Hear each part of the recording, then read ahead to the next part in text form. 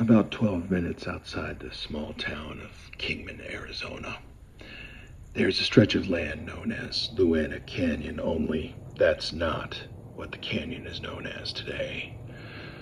See, Kingman was a mining town back in the gold rush. One unlucky miner brought his wife and three kids and put them up in a small wooden shack in that area, naming the surrounding land around it after his beautiful wife, Luana. It was a hard life for the family, with the miner leaving and not returning for weeks at a time, until one day the miner just didn't return at all. Without any way to buy food, without any way to travel, or anything to barter with, the family began to starve.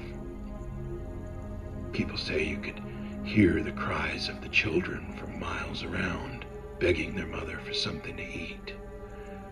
Weeks turned into months until one day the mother just snapped. They say she took an axe to her three children, chopping them up into little pieces and painting that little wooden cabin red on the inside and giving the canyon the name it still goes by today Slaughterhouse Canyon. Ever since then, people claim to hear the cries of starving children, followed quickly with the shrieks of a woman who has had to endure the unthinkable. If you don't believe me, you can go visit the spot yourself. Only don't take any food.